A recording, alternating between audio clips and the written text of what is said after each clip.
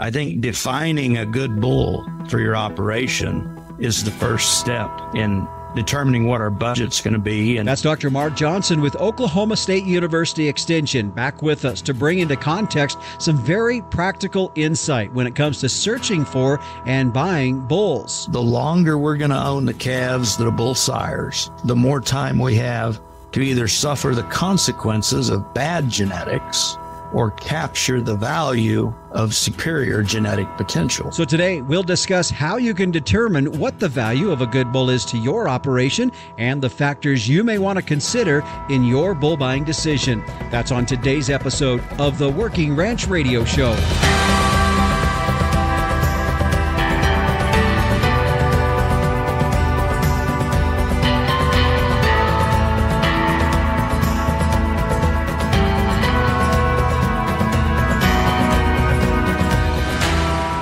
Again, everyone. This is the Working Ranch Radio Show. I'm Justin Mills, your host, and we're glad to have you joining us on our program today. By the way, if this is your first time tuning in, we want to thank you for doing that, and we hope you enjoy it. Uh, it's always helpful for us too. If you hear something on the show you enjoy or you like, let us know. Like, hit the like or thumbs up, comments on the show.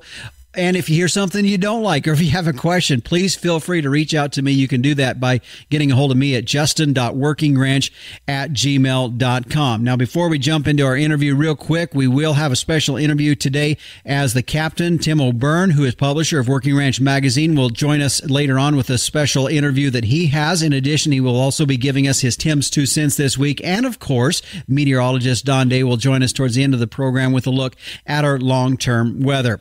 Now, as we get back into our subject at hand here today, first and foremost, I would like to welcome back to our show Dr. Mark Johnson with Oklahoma State University Extension. He is their beef cattle breeding specialist. And Dr. Johnson, thanks for joining us here today on the Working Ranch Radio Show. It's good to be with you, Justin. Well, as I told you before we went on air, I had such a good response from our last show that you did with us. It was back in November of 23, episode 142, entitled Cost Effective Feeding Using Cowboy Math. And I, I guess what I appreciated about this and our topic that we're even going to get in here today is just the practicality of it, is just sitting down and simply doing, and you always refer to it this way as kind of some cowboy math. And I, and I think that's a, a good way to look at it. We're talking about what's a, what's a good bull worth. And you had written, you've written some, some white paper on it. You've got some uh, YouTube video on it as well. And I thought, in light of where we're at in this time of the year, I realize there's already been several bull sales, but we still have several ahead of us. Just some real practical information that we could look at from uh, as producers when we're starting to evaluate and starting to look through those those bull sale catalogs. And and when we look at that, just in in general, uh, you know, first and foremost, before we start getting into some of the numbers and how much we need to spend, just before we get there, what are some of the things we need to be looking at first and foremost in these bulls, such as, you know, I mean, you know, you talked about EPDs and a, and a breeding soundness exam. I think that's the first characteristic of a good bull, Justin, in that we're buying bulls to get cows bred or heifers bred. And so we want a product that whoever's selling it to us is going to stand behind with a breeding soundness warranty of some sort. So Typically, that would mean that that bull has undergone a breeding soundness exam, that we know that semen quality and quantity is good, all the secondary sex organs, feet and legs, eyes, everything, that bull has been deemed functionally sound to naturally mate and service and get cows bred. Mm-hmm. I, I, know when we look at the, I mean, first and for, like you said, first and foremost, the the things that are supposed to function need to function correctly, and and I feel in in a lot of ways, one of the things that we look at, particularly when we're looking at bulls, is you know bulls that are going to stand up. When we look at one of the issues in our cattle industry, just in general, is longevity in our cattle herd. Well, we want longevity in our bulls as well. And that's a pretty big part. Longevity, which goes back to maybe their feet and their legs, uh, as well as their vigor to get up and breed. Exactly. Libido and servicing capacity, they all go into that. And, you know, the, I have likened in the past and, and these conversations, the life of a good breeding bull or their lifetime in doing it is much similar to probably looking at a professional athlete and, you know, professional quarterbacks in the NFL. I, I kind of draw similarities between the 2 mm-hmm. And you can have a bull that's athletic and sound and fit, and they get injured, and things can happen. And you know, I always tell this story for every Tom Brady who was winning Super Bowls into his 40s. There were quite a few quarterbacks we don't remember their name. They might have been talented and capable, but some injury along the way, they were out of the NFL, no longer playing by the time they were maybe 25 or 30. So the life of a breeding bull is similar to that. They've got to be athletic, they've got to have libido, but every time they mount a cow, they're on different types of terrain hard ground, muddy ground, sticks and timber. And every mating, every natural service, when they come down, there's the potential to tweak something, land wrong, and you, you injure this joint or that joint. And it, in some cases, can can leave them incapable. And so, we typically expect several services of breeding out of both several seasons, mm-hmm. several years, and I think typically bulls are probably on average last until they're five, six years of age. You'll hear about some people with eight and 10 year old herd bulls. And you'll also hear some people that a bull was three and he'd had enough and they knew they couldn't count on him anymore. So it's, there's a lot of perils to that job mm-hmm. of being a herd bull and injuries do and can happen. Mm-hmm. I'm sure as, as an extension specialist, specifically in breeding cattle, what are some of the things that you hear maybe the most in terms of just producers lamenting on their issues that they have had in purchasing bulls? What are some of the top things that you hear from them that you know would help other guys and say, "May be watching for this," or "What what do you need to be concerned about?"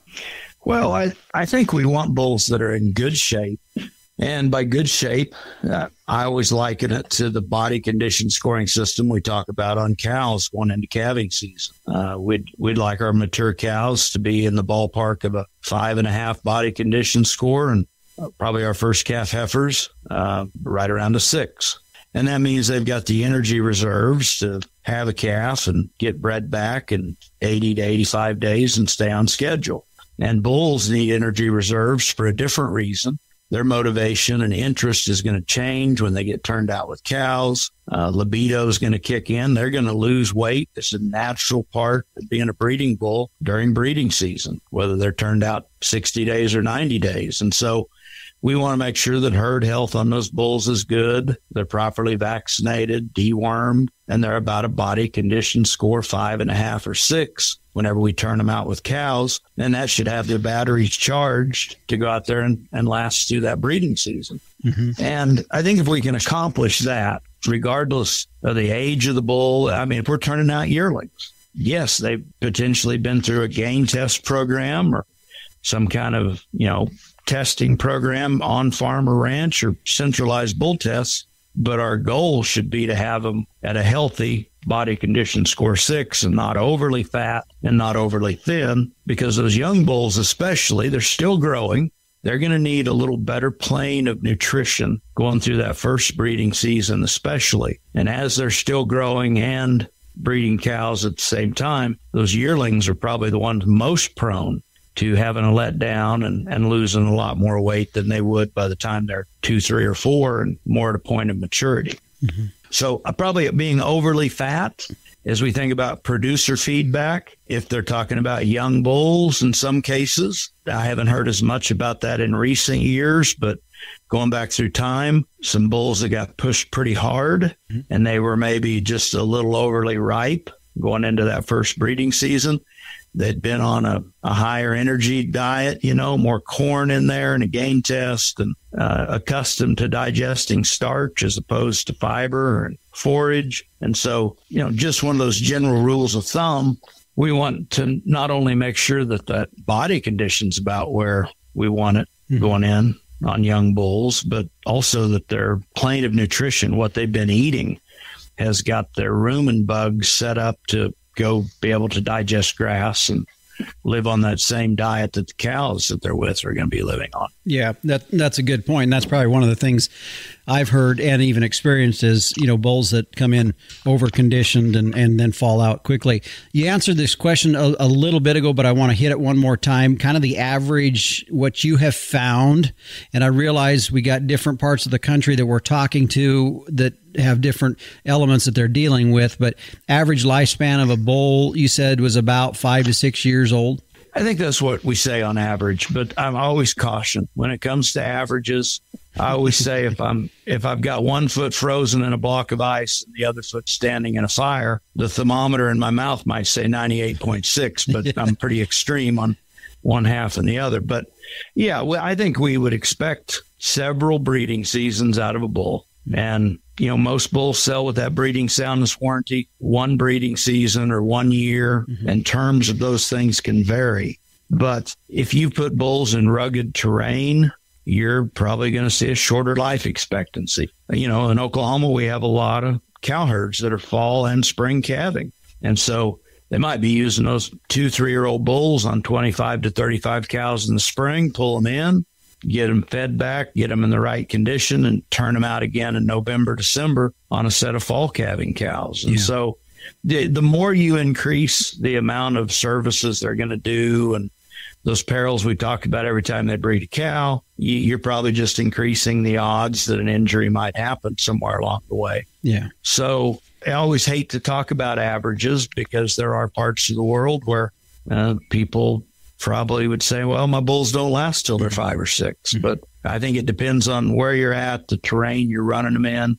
And in some cases, how many other bulls are they running with? Yeah. Are they are they by themselves in a pasture with, you know, the, the right amount of cows for their age? Or are they in really big pastures and lots of bulls running on many, many cows and more potential for fights and injury and stuff like that. So all those things kind of stack the odds against them and potentially decrease that normal life expectancy. Yep, for sure.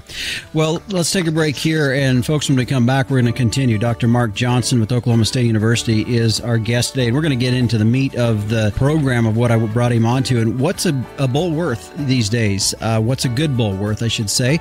He's going to work through some numbers for us and work through some of what that's going to look like when we come back here on the Working Ranch Radio Show.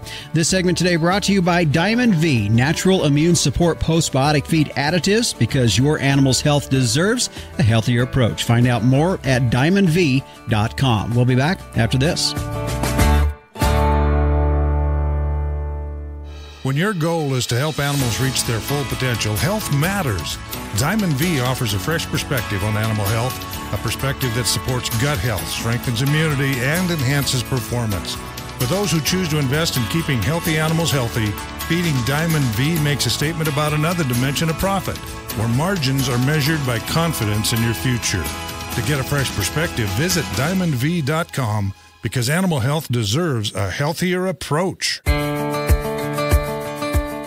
Welcome back to the Working Ranch Radio Show. As we find ourselves here in the front end of the year, it seems like we're always thinking about that next new calf crop that's out there. And I know there's folks have been calving for maybe a month or so, and others just getting started, and yet others, like myself, still a ways out from calving.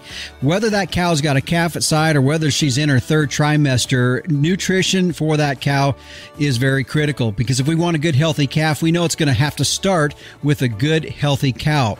And a new generation supplements, I'm going to put it simple. They have a tub for that. And I don't mean that they have a generic tub. What I mean is with over 2,000 dealers all across the United States and Canada, they know that the nutritional needs in different parts of the country are critically important, which is why they have over 100 different formulas that meet the nutritional demands and the needs for cattle in different parts of the country. You know, there's plenty to worry about as ranchers and supplements does not have to be one of them. I encourage you to stop by your local generation supplements dealer. Now they're the manufacturer of products like SmartLick, Megalick, and Feed in a Drum. You can learn more about supplements made for successful spring calving season. You can go to their website at newgensupplements.com com. Well, as we get now back into the meat of the matter and our subject at hand today, what's a good bull worth in 2024? My guest today is Dr. Mark Johnson with Oklahoma State University Extension. And Dr. Johnson, with the calf prices up dramatically higher than they were three to four years ago, uh, no doubt the cost of these bulls are probably going to go up as well. But how do we measure that efficiently? How do we know what we should be spending? How does that relate? How can we correlate that back to really the end game, the calves that we have, what we're planning to do with all of those. So let's start from the top of that. How do you determine or figure in, recommend we value a good bull?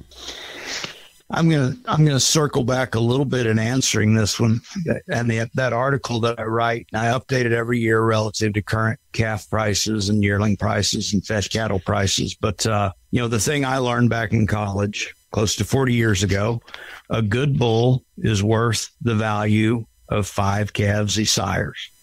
Now, I don't know that any empirical evidence or any referee journal articles were ever cited when I was taught that. I would have heard that from several professors going through my animal science degree here at OSU.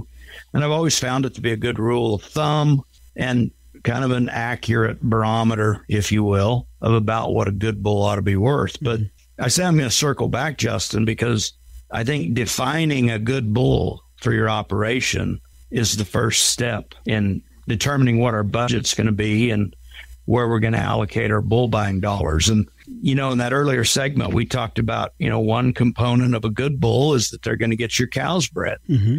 But that next part of determining a good bull for your operation is where I always say it's it's not a one size fits all thing. We we go to a bull sale, they might be selling 100 bulls, 500 bulls. Well, the best bull for one operation that's there may not be one of the top 100 bulls mm-hmm. for another operation that's there. And so you've really got to look at your own beef business and and think about what your resources and management and economics and particularly the intended use of those calves that that bull is going to sire and the marketing endpoint for those calves. And you're looking at bulls, you're kind of thinking about them like an employee you're going to bring into your cattle operation and what do they have to offer in increasing the profit potential. And that, you know, if we we cut to the bottom line of that, how well do those bulls complement your existing cow herd in order to add value to a set of calves they're going to sire for you. And the answers to, to those questions, your mm-hmm. operation, your marketing endpoint, your existing cow herd, how do you intend to use those bulls? Or, for example, are those bulls going to get used on heifers or are they going to get used on cows? Those things are going to dictate the genetic values and the on foot type of the bull we identify as a good bull for our operation relative to adding that value to his calf crop. And so I always think we got to do that homework relative yeah. to our own unique operation first in identifying what a good bull is going to bring to the table for our operation. And a lot of that, you know, goes into the the cowboy math, as I always call it, and that arriving at some ideas for what a good bull is worth. Yeah. To me, I feel like uh, we have more tools even today, and every year it seems like some of the technology is providing more tools for us as ranchers to know and find that bull that's going to fit our cattle herd as well. For sure. And we open up a, a bull sale catalog or, or we start taking a look at genetic values. And we have more of those available to us than we've ever had before. Mm-hmm. And yet, when it when we boil it down to what bull best fits our operation and is going to add that value to calves, there's typically only a handful yeah. of traits yeah. where we're going to be able to apply our selection pressure. And, and wherever we want to apply that selection pressure really equates to where we're going to spend our bull buying dollar. Mm-hmm.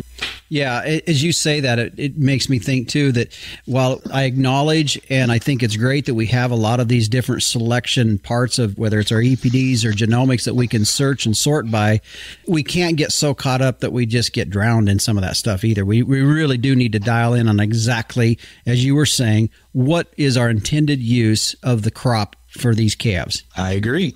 So as we move into that, you said, you know, a bull is worth approximately about five calves. That's been a rule of thumb that you've worked on on that. When you look at specifically evaluating our use of the calves, one of the things I thought was interesting was that the longer that you plan on owning the crop, the calves, whatever that may be, the more you could justify spending on a bull. Explain that.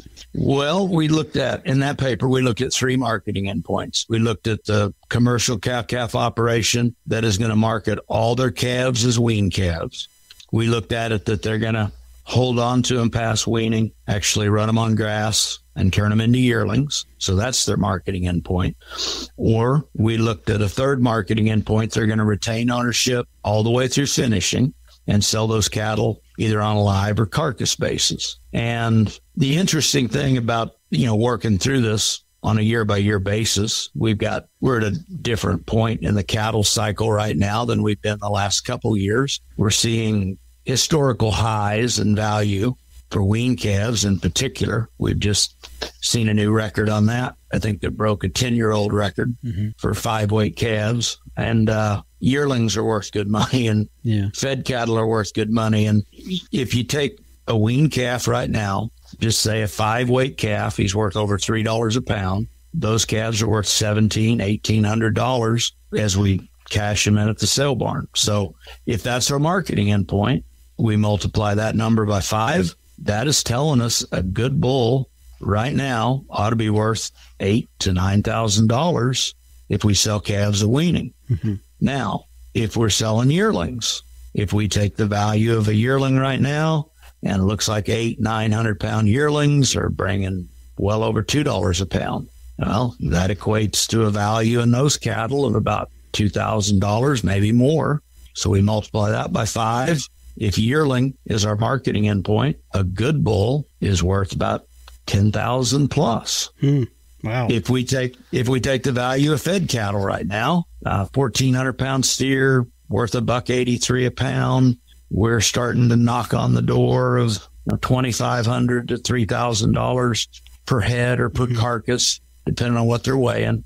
And you start seeing bulls take on a value up there around fifteen thousand. Hmm. 12, 12 and a half to 15,000. And so in thinking through that and, and the point you mentioned, the longer we're going to own the calves that are bull sires, the more time we have to either suffer the consequences of bad genetics or capture the value of superior genetic potential. Mm-hmm. And, and that gets particularly interesting if you think about fed cattle, because the majority of fed cattle are sold today on a carcass value basis. Mm-hmm. There are some big fluctuations in the carcass value of a fed steer or heifer right now, depending on quality grade, yield grade combinations relative to their carcass weight. Uh, that old standard that most finished cattle yield a carcass that weighs eight to 900 pounds. We've seen that shift. We're seeing more of these pens of cattle right now being finished out to heavier weights than we've ever seen before. Yeah. And there's, as a result, a thousand, 1100 pound carcasses. You start thinking about the dynamics of grid pricing and high quality grade, yield grade combinations on those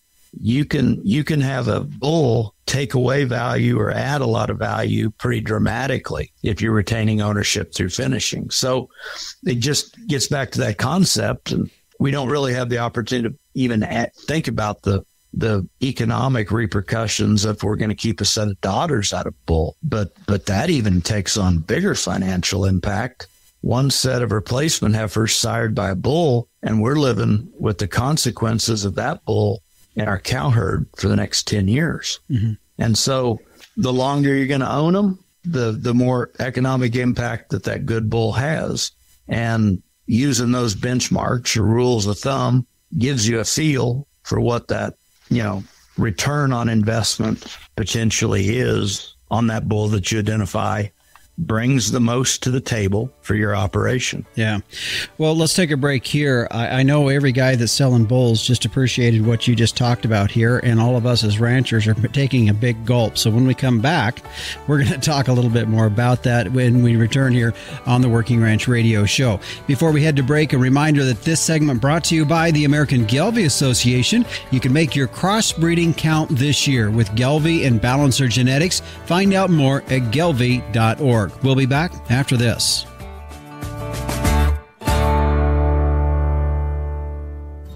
Capitalize on crossbreeding with Gelbvieh and Balancer bulls. Raise replacement females with added fertility, increased longevity, and greater productivity. Gelbvieh and Balancer influenced females wean more pounds of calf per cow exposed. In the feed yard, Balancer influenced cattle offer increased performance, improved feed efficiency, and had excellent carcass merit. Balancers add the pounds, make the grade, and deliver the value. Make your crossbreeding count with Gelbvieh and Balancer Genetics. Welcome back to the Working Ranch Radio Show. As we continue on, my guest today is Dr. Mark Johnson with Oklahoma State University. And Dr. Johnson, as we were just talking in the last segment, our program initially overall, just talking about what's, you know, what is a bull worth as we see these calf prices going up and what should we be paying, looking in context with how we plan on using the genetics, the offspring out of that bull. You threw some numbers out there, approximately rule of thumb that is something that you've worked off of for many years. Bull is worth about the five head of calves, the value of five head of calves, and you worked through those different scenarios with us. And as we joked it as we went on break there, I said all of the guys selling bulls were saying amen to what you said, while all the guys, ranchers like myself, were saying, oh man, and um, it, how do we bring this into balance? Because that's a big difference. Those prices you talked about, that is a big shift than where we've been at. And at the same time, then we start putting into context the value per breeding as well. And, you know, you start getting 10, 12, $15,000, your cost per breeding is now, you know, in the $80 uh, per breeding uh, for that bull. And so let's bring some of this into context a bit. Well, I, I think again, it gets it helps to get back and take a look at you know identifying that good bull for your operation. And when we're talking about using rules of thumb of what they can be worth, everybody's got a budget. And another part of that equation is is does that bull fit your budget? Mm-hmm. And I'll, I'll give you an example, Justin. I had a question on this from a producer this week and his marketing endpoint. It's it's a pretty. He's looking for a bull to use on his mature cows. These are Angus bulls that he was considering, and he sells all his calves off wheat pasture as yearlings each spring. And so there's a bull that's got a $3,500 price tag, sells with a breeding soundness warranty. The yearling weight EPD of that bull is 150. So we're using that as a benchmark. Mm-hmm. $3,500 bull, yearling weight EPD of 150. 150 is a pretty healthy yearling weight EPD. Mm-hmm. But he's got another bull that he could buy for $7,500. It's got a yearling weight EPD of 182. So we got a 32 pound difference. Now, to, to cut this down to the basic parts, if I've got 3,500 as my budget to buy a bull today, I buy the $3,500 bull and I got a bull to get my cows bred. Mm-hmm. But if I look at this as a business model and what this bull has to offer and what is going to be the return on this investment, looking at current prices, and, and these are prices we expect to see yep. hold true here for a few years. Yep. 32 pounds of weaning weight right now on the USDA market report for Oklahoma this week, conservative value, about 220 a pound. Mm-hmm. Again, mm-hmm. are we talking about 900 pounders, 800 pounders, 1,000 pounders? That's going to be part of this equation. Everybody's going to have to fit in for themselves. But I'm just ballparking a pound of yearling weight at about 220 in value over the lifetime of this bull. Now, I'm assuming these bulls over five years of service are going to end up siring about 150 calves. This is another part of the equation. Producers are going to have to answer this for themselves. What's the life expectancy? How many calves are they going to get out of that bull over his lifetime? But I'm figuring if the bull lasts at least five or six, I should see him sire about 150 calves. Mm-hmm. So that's part of my math. 150 calves, the 182 pound weaning, or excuse me, yearling weight versus 150 means that 32 pounds a calf, over 150 calves, worth $2.20 a pound. That $7,500 bull generates me 10000 about $10,560 additional revenue over his lifetime. And he's doing that at $4,000 more cost. So the extra 4000 subtracted from that $10,000 plus, that bull adds about $6,500 over what he's costing over his lifetime as a herd sire as compared to that $3,500 bull. Mm-hmm. Now, again, we can get more conservative with the numbers. Yeah, everybody's got to figure out how many. If somebody only owns 20 cows, then that bull's not going to sire 150 calves for him in the next five years. Yeah. Then your your math becomes maybe siring 100 calves out of those 20 cows for. But that's the kind of numbers I Yeah. encourage people to work through in in figuring out if that bull fits your budget and what he brings to your business model of your cattle operation. Yeah, very good. I think it's very practical. Uh, Some key points that I just, as we go through that again, is you know, what's your years? You know, you think you're going to have that bull, or that bull can stay healthy for you and going. Keep in mind, some of that's beyond our control, but just in general. And then at the same time, as you said, also. What do we plan on doing with that? What's the, and how long do we plan on maintaining ownership of those cattle? You know, those are two big things that kind of play into this that I see is am I missing anything? No, I, I think that's it. it. It really gets back to to looking at your own operation and figuring out the bull that that offers the most to you for profit potential and bottom line. Mm-hmm. And everybody's everybody's operation is going to be unique in that sense. Yeah. And I know one of the things you and I talked about before we went on air here, even today, was just a little bit when you start looking at some of these costs per breeding. I think that's one of the things you do need to break it down to is cost per breeding. As you work through that last example with us, was very good there. Is also evaluating, especially if you're in a situation where you're wanting to keep replacements, is it then evaluating the cost of AIing? And again, as you and I were talking about, that's a whole other ball of wax, but it's something you kind of probably should throw in the in some of that context as well, don't you think?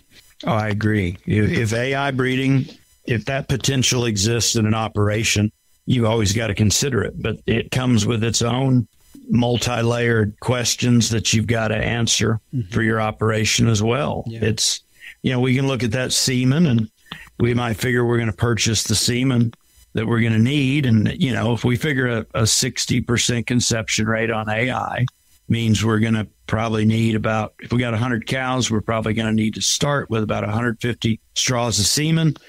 We may get that purchase for 10, 20, 30 dollars a straw. You know, prices are going to vary. But then we get into the other considerations of are we going to synchronize those cows? Yep. All the protocol.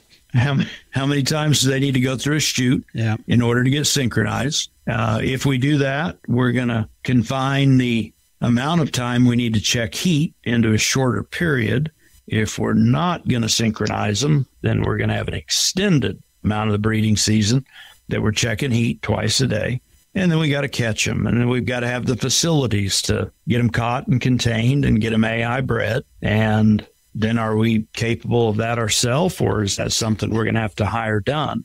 And so as you start doing the math and the availability of AI technicians and your time's worth to heat check and what the different things are that you're going to need to do a heat synchronization, there's several layers of costs there mm-hmm. that you've got to work through in, in determining the value of that. Yeah, I think so too. And I feel, Dr. Johnson, with our conversation here today, I, I don't think it's anything that's for a lot of us that we, in the back of our minds, haven't sort of thought about or worked through. But I feel like our conversation was valuable just in the fact that for some of us or for some folks, it's just a matter of working through that and hearing it come from somebody else to maybe put into place the direction we need to be looking at. And as I said before we went on air, sometimes I felt in, in years past, some guys have spent way too much on bulls, and there's probably some people that spend way too less than they should on bulls. And really, this whole thing, just in general, is just helping us to identify where should we be at. Yeah, and and gets back to is it the right bull? Yeah. and that price point I think is always relative to identifying the right bull, the best fit for your operation. And that's going to influence that price that you're going to invest in genetics and determining what that price point is. You bet.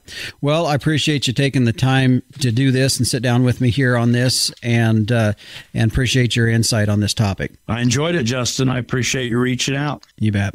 And again, Dr. Mark Johnson with Oklahoma State University Extension. My guest here today is their beef cattle breeding specialist. If you want to find out more information, you can go to their website at extensionokstate.edu. And keep in mind, I, I will also put a link in the show notes that you can find by going to the podcast site as well. And uh, some very useful information. Like I said, it's probably something that for most folks, maybe you've done a little penciling on that, but I think it's always good to review this topic and just see where we're at so that we're in line with our goals and plans of what we want to see our herd accomplish and get to as we move forward in each of our ranching operations. We'll stay with us when we come back. The Captain Tim O'Byrne, publisher of Working Ranch Magazine, will step in for a special interview while he was down at the 2024 Cattle Convention in Orlando. We'll check in with him coming up next. And later on in the show, meteorologist Don Day will be in as we take a look at our long term weather. We'll be back after this.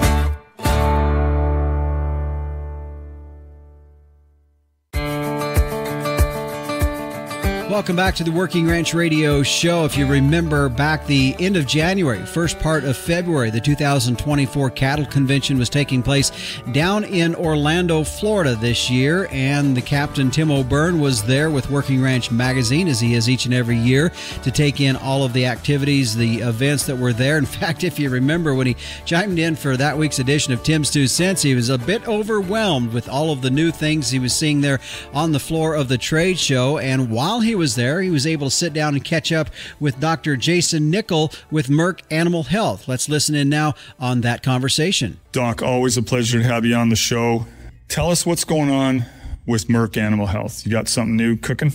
Yeah, Tim, no, thanks for the opportunity. And yeah, we always have new things cooking. Our biopharma uh, portfolio continues to expand, and, and that segment of the business continues to be there, and we'll continue to innovate in that area.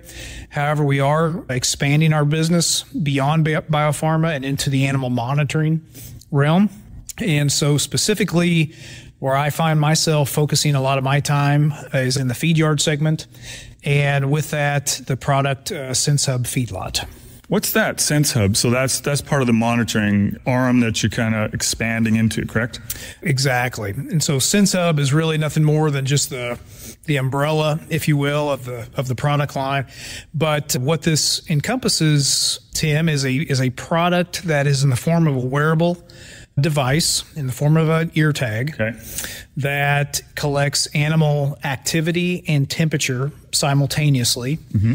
And we use artificial intelligence techniques to, to ultimately tell us is that animal different than how it has behaved historically, but also is it different than the group?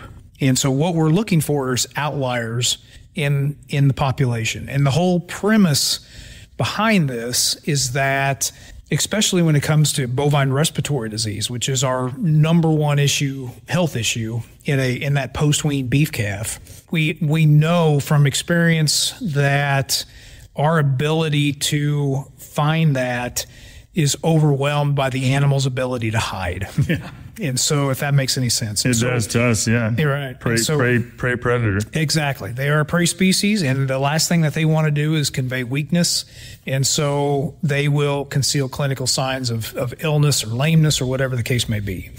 And so the whole objective of this system is to, it's never going to be perfect, but by any means, but we want to improve upon our ability to find that animal early and accurately with the whole goal of improving treatment response. So I'm, intrigued when you say it's sensing different, uh, like the differentiation in the, in the normal behavior or the behavior recorded. That can also be a low temp as opposed to just a spiking hot temp, which a, a lot of us know that, you know, that have uh, checked pens and done a lot of treatment chute side can say, you know, just because I pull him and it's, he comes in at 100.7 doesn't mean he's healthy. That could be actually, you know, significant downward trend. And that would, that would alert on this the system? It, it would, and so as long as that animal is is shown to be an outlier to itself and to the group, Yeah. it, it you know it would be flagged. And so, to your point exactly, this is not a BRD specific product. And so we are looking for anything that's an outlier, that's different. Yeah. And so we will, you know, we do see lamenesses get picked up. You know, there'll be, I'm very confident that what we're capturing at times where it's flagging an animal and it, to your point, does not have an elevated rectal temperature. A lot of times we're probably dealing with some ruminal acidosis issues. Right, right. Right. And so, you know, it, this goes beyond just treating the infectious disease side of things, there's probably an opportunity in here to just cast a wider net and keep, you know, have more eyes across the entire production system as well. So we've always been, especially in Jason, we talked about this, you know, feedlots have always interested us and a lot of our listeners and readers. The, the Merck Whisper was just a, I mean, what a great idea and a great premise for that. Does it interface with this? It would interface with this. They don't, they don't piggyback off of one another, but that information can be used in tandem. But to your point on interfacing, the the SenseHub feedlot system will integrate with existing animal health chute side software.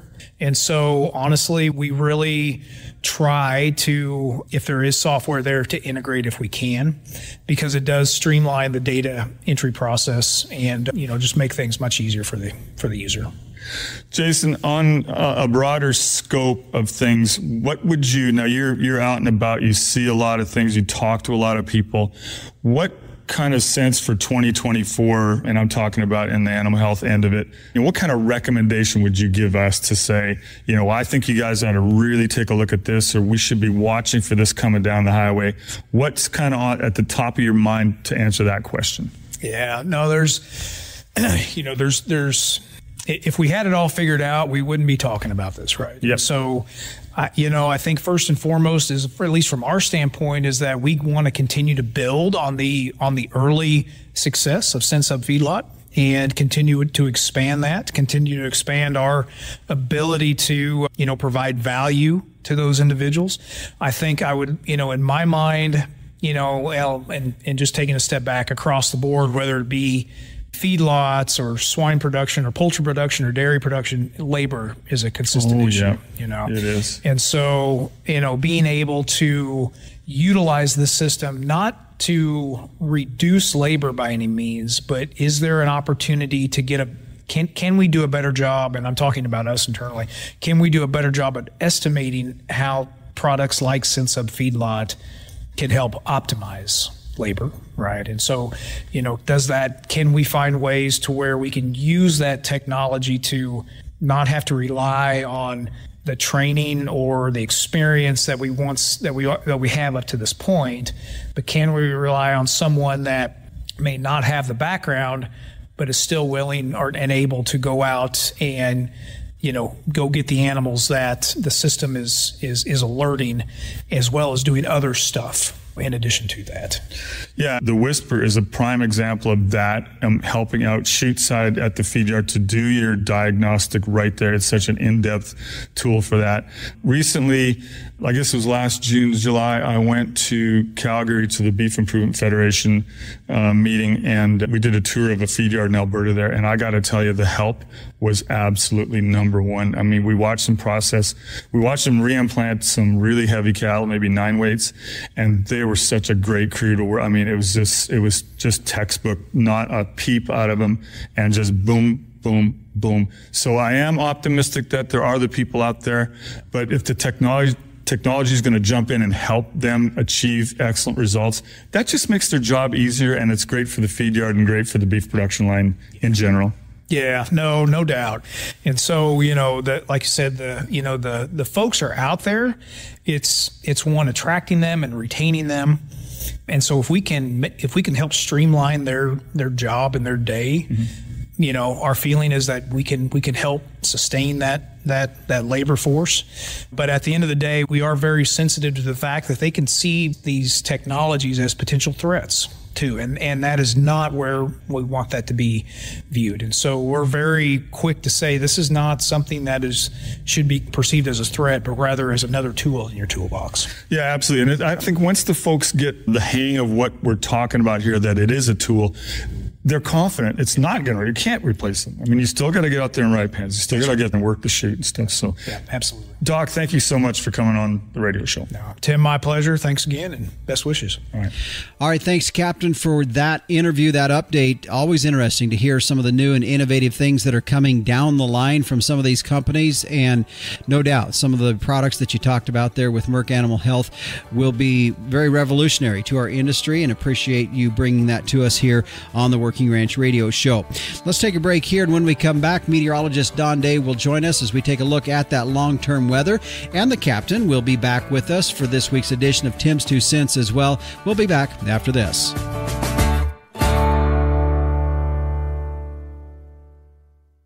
Fascinated by our wild weather? Now you can learn, appreciate, and understand the weather in your own backyard with the new Tropo Rain Gauge. Having achieved the highest rating of any product reviewed by the WeatherStationExperts.com, the Tropo boasts rugged durability, impeccable accuracy, and precision to the hundredth of an inch. Visit MeasureRain.com to order a Tropo today and use code RAINDAY. That's R A I N D A Y for free shipping and 10% off. Go to measurerain.com. And welcome back to the Working Ranch Radio Show as we're joined now by meteorologist Don Day with a look at our long term weather. And Don, as we find ourselves, at least in our neck of the woods, having this first wave of March weather coming through more in the northern tier of the country and up into southern Canada. But as we look ahead into this next week, this next wave is going to be centered kind of through the middle portions of the U.S. Yeah, we've got a very busy Pacific and it's going to be churning out multiple fronts, multiple storm systems. And just, uh, you know, you had mentioned Southern Canada from Alberta through Saskatchewan and Manitoba. This is going to be one of their bigger snow events of the season before it's all said and done. And this is going to be followed up by, I wouldn't call it, let's say, a, a single system, but multiple systems that are going to be coming out of the Northern Pacific through the Aleutians, through the Gulf of Alaska then coming into the Pacific Northwest and the West Coast. And what's left of these storms will then go west to east across the USA. So March is going to be a, a, very busy month, at least the beginning of it. Yeah. And what is really interesting to watch this is the amount of moisture that the west of the continental divide is getting. And it really is centered right over the key snowpack areas that are really reliant on that moisture later in the summer. Yeah, the the snow that's going to fall in the mountains of California, uh, Utah, Nevada, Wyoming, northern and southwest Colorado, Idaho, and into Montana is going to be very, very significant over the next 10 days. Now, the northern the northern Rockies, their their snowpack has been well below average. It continues to be that way, but they're going to get a boost.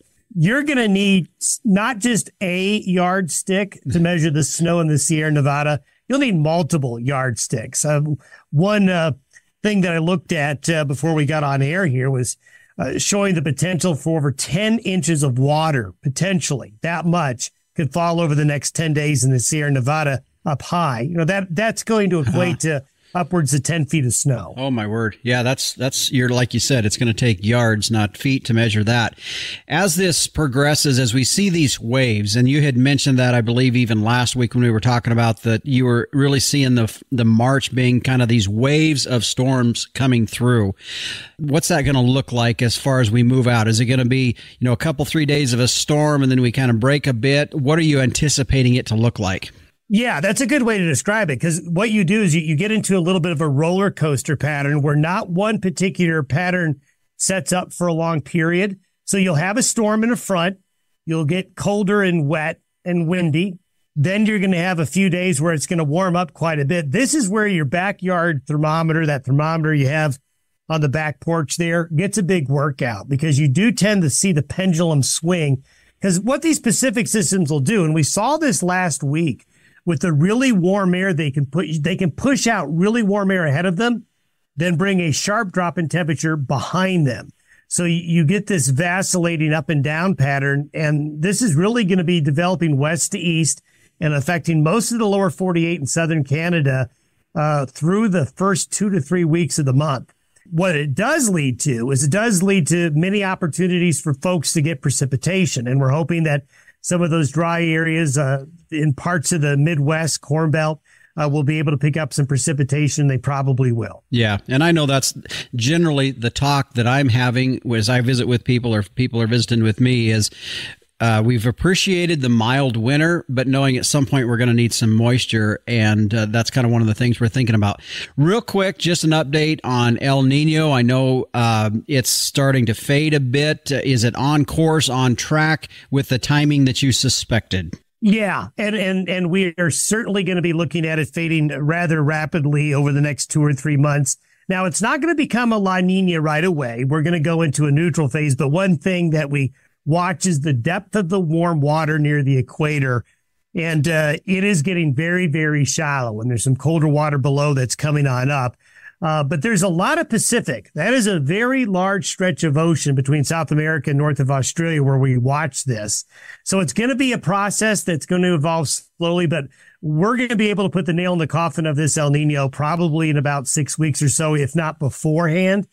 Then we're going to be watching whether or not El Nino comes late summer or fall. So things have not changed in terms of the timing. Okay. All right. Well, Don, appreciate it. We'll check in with you next week. Thanks. Sounds good. And again, that is meteorologist Don Day with a look at our long term weather. You can find him each and every morning on his daily video YouTube podcast. Uh, you can go to his website at dayweather.com and you can get a link from there. Well, the captain, Tim O'Byrne, is standing by. He is publisher of Working Ranch Magazine. Let's check in with him now for this week's edition of Tim's Two Cents. Hey, Justin. Hey, everybody out there in Working Ranch, Radio Land, these wildfires down in Texas heading into Oklahoma. Uh, just absolutely horrific.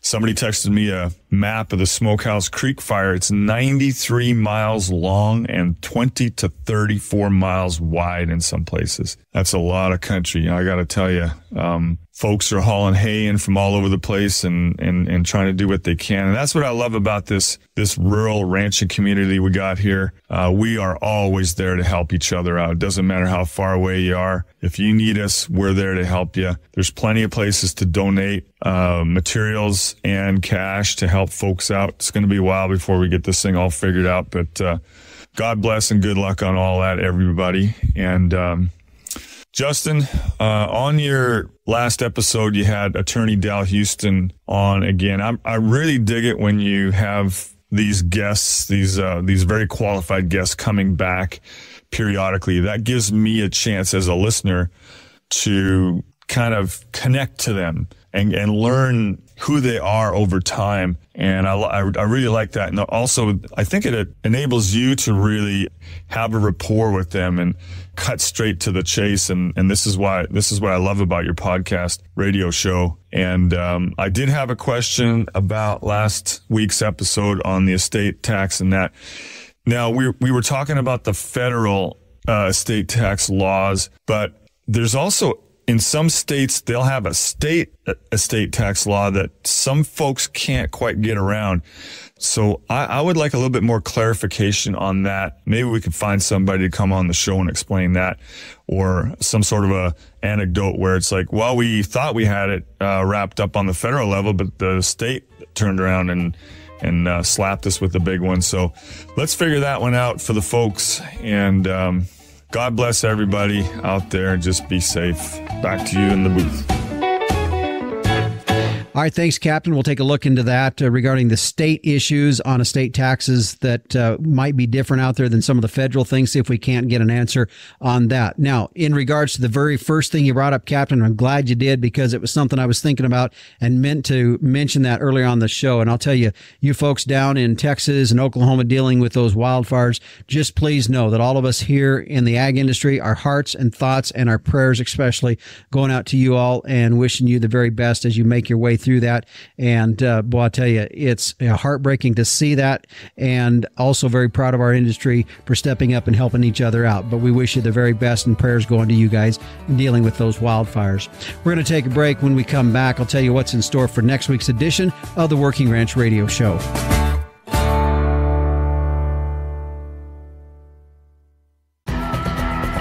Coming up on next week's show, if you run cattle, my guess is you've probably had to deal with this, and that's lameness in your livestock.